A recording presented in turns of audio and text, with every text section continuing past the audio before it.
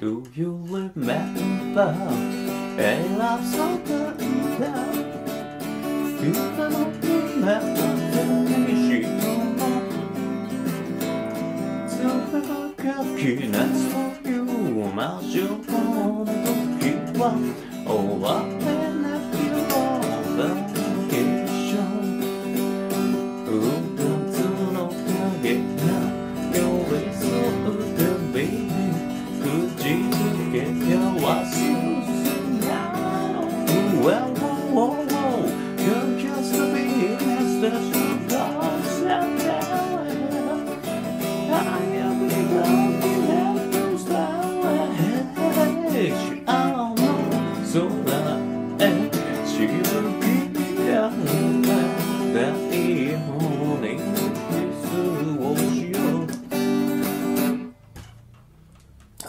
買ったのがすごく嬉しいんですよ。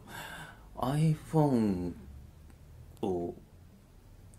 5S を使ってたのな iPhone7 に買い替えて。そっちは 5S が気に入ってたんでそんなにはあれなんですけど iPad はねすごく嬉しいの。この間も同じこと言ってるんだけど。でさもう何が嬉しいってそう画面にこうやって直接絵が描けるのがすごい嬉しいんでまたスタイラスは買ってないんですけどで早速 Adobe の Photoshop ダウンロードっていうかねインストールして指でちゃこちゃこってやってみたんですけどねやっぱり面白い。昔ね本当にね毎日そればっかりやって遊んでたんで写真描こうっていうかまあなんか似顔絵とか描いてずっと遊んでたんでれがさ画面の上で直接できるかと思うと本当に楽しみでスタイラスも思ったより高くないんでアップルのやつ。アップルのやつは1万円ぐらいするんですけどなんかアドビのやつが Amazon で3600円とかで買えるっぽいんであ思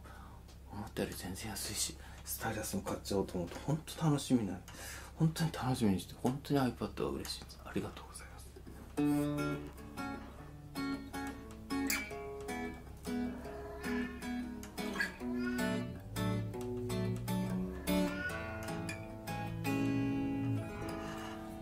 またでした